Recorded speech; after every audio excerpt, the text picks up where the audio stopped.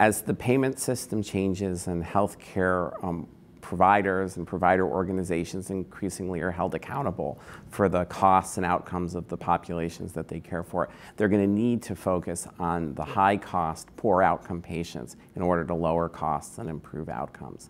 And as they do that, I think they'll come to understand that um, most of the costs and most of the bad outcomes are borne by a very small fraction of the patients.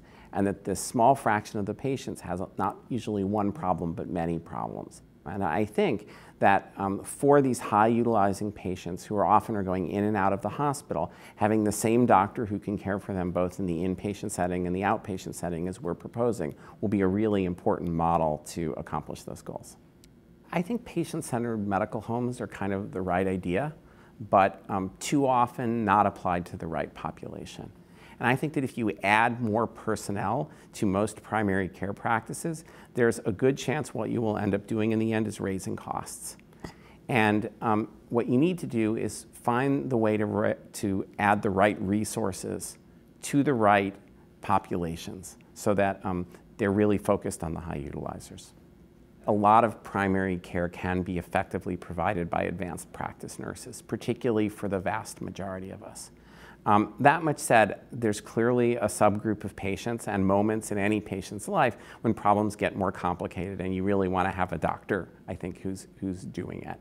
And that's why I think this sort of role for doctors where they're caring for the sicker patients, both in the inpatient setting and the outpatient setting, is, is a really exciting one. Health IT is very important. We use it to identify at-risk patients to do so efficiently. We use it to remind these doctors that, tell their doctor that the patient has appeared in the emergency room. We use it in our handoffs. It's just not a cure-all. And in fact, I think they're complements to each other. That the better the information is provided to a doctor who's really invested in the patient, the better the outcome you get. But I don't think that health IT is a substitute for an invested doctor. I think it's a complement.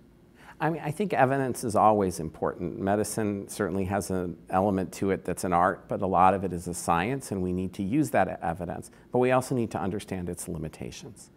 And its limitations are, are complex, um, but one of the most common limitations is that evidence is generated in a finite population of people that often have a limited number of other things going on in them. And yet the individual patient you care for can have a whole lot of other things going on that you really need to think about when you make decisions. And so I think that doctors should be aware of the evidence, but understand its limitations. Use that information in the context of what they know about the patient to share that information with the patient and together make as good a decision as they can, given those complex interacting factors.